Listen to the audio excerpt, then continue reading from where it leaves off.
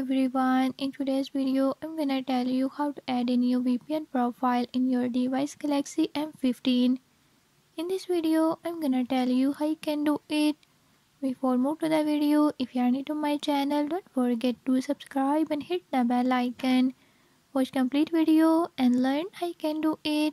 Let's get started.